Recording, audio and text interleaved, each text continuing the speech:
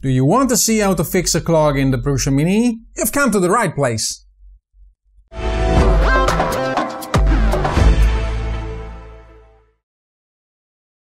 This is the first time I got a small problem with my Prusa Mini.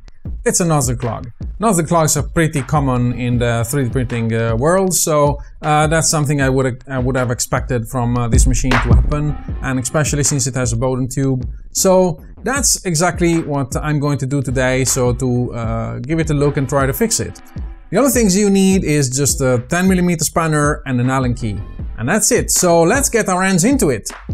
Three, two, Fight! So here we are in front of the machine. I have tilted it upside down so it's easy to see.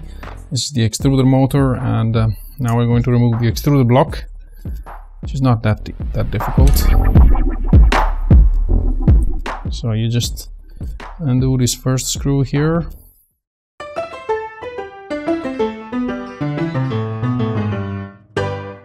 Which is a very long screw. Remove a second one in this other corner. Then there is a third one down here, which is also holding the door. You see my door mod here with uh, cogs. So I need those to go. So that's step number one. So we have removed the extruder from the machine. And then we have to open this up in here. So there's two more screws to go. Actually, three or four. So we'll take the first one out.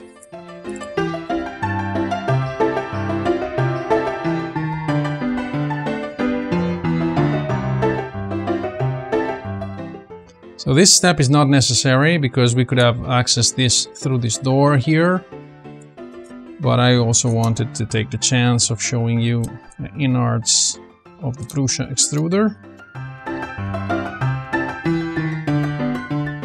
It's a bit difficult to do this while having the camera on my way, but all the things I do for you guys.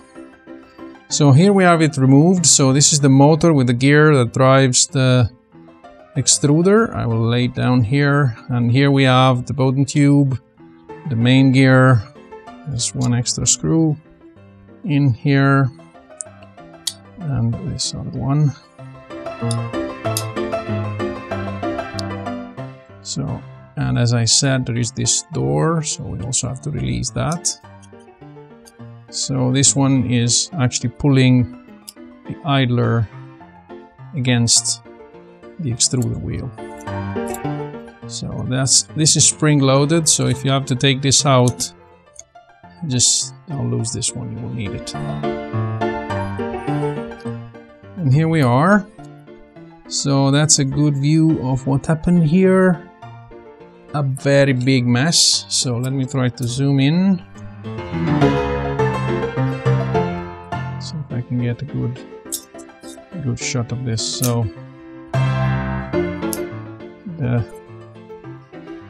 I would say that the filament is actually flattened out against the extruder wheel, so I will have to clean up this mess.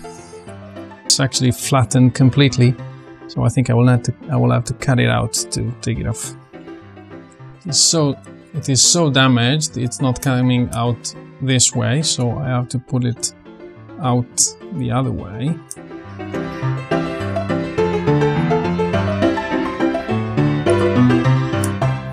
So here it is, and this is how it looks. So it's totally flattened. So it's been completely eaten up by the gear of the extruder. Oh yeah. So due to the clog situation, I have actually decided I'm going to make a cold pull. So I'm going to take away the Bowden tube.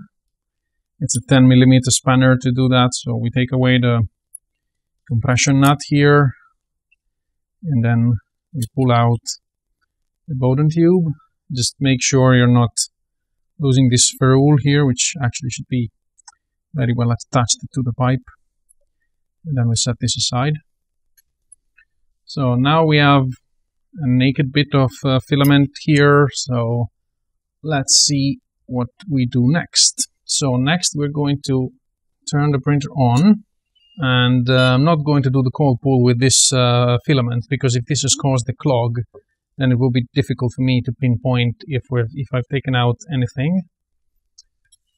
So I have this spare bit of uh, pink, uh, very fashionable uh, filament. So let me heat it up. So let me preheat it, PLA. So now we preheat the nozzle and we have to pull this one out. So I'm actually going to push it a bit in just to make sure that uh, uh, it will ooze out a little and then I'm going to take it out. So now we have our heat. So I'm going to push this down a bit. Doesn't actually go anywhere. Is a bit weird. So I'm going to pull it out. So this is how it looks like. So how do you do the cold pull? The first thing you have to do, contrary to the name, is to actually uh, it's to actually supply a new filament, so you need to have some heat.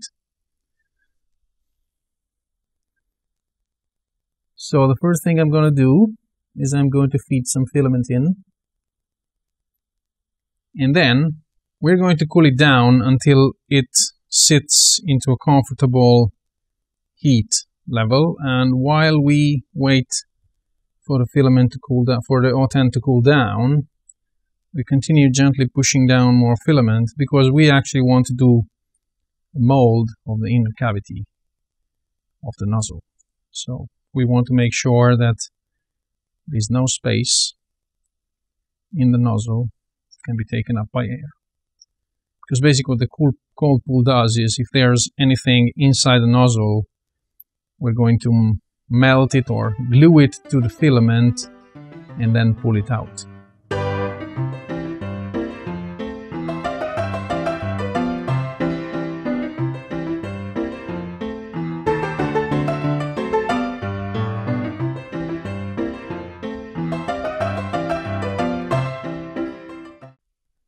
Okay, now it's not melting anymore and we will have to wait until it cools down enough that it's still soft but uh, hard enough for us to pull it in one piece. So that's usually around 80 degrees. So I'm going to wait until uh, the temperature reading in the machine is 80 degrees. So here we are. The machine is now cold enough. I'm going to try to gently wrench this out of the hot end.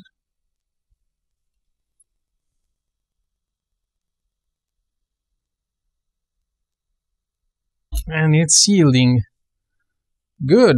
So you see now, I had my clog with some black filament, so there's a lot of black particles in here. So this is might as well worked. If uh, you feel like there's something really wrong with your printer, you can run this multiple times, of course. And uh, that's it for this uh, for the workshop part of the video. So uh, you've seen I've got a pretty bad clog in my in my case. The the extruder was grinding on a filament and it was stuck. So I don't know what what went wrong. Uh, my spool of filament was a bit uh, old, so it might be something with the dryness of the filament, even if it's if it even if it was PLA. So now you know how to disassemble the extruder of this machine. That's pretty simple, but still I wanted to share with you guys. And you also learned how to do a cold pull if you didn't know to do it. It's uh, some of the basics that you need to have when you're doing maintenance on a 3D printer. I hope you enjoyed what you see. So if you want to see more of this, then uh, you can uh, consider subscribing to the channel. That will mean a lot to me. I have a few other projects uh, coming up. One is my clone of the Prusa Mini itself that is coming from China, hopefully, because it's not been shipped yet. So it should come from uh, Europe, but still, uh, I don't know what's wrong there. Um, still, we're waiting for it. And I have another secret project coming up, so stay tuned and uh, I hope uh, you like what you see today and until next time.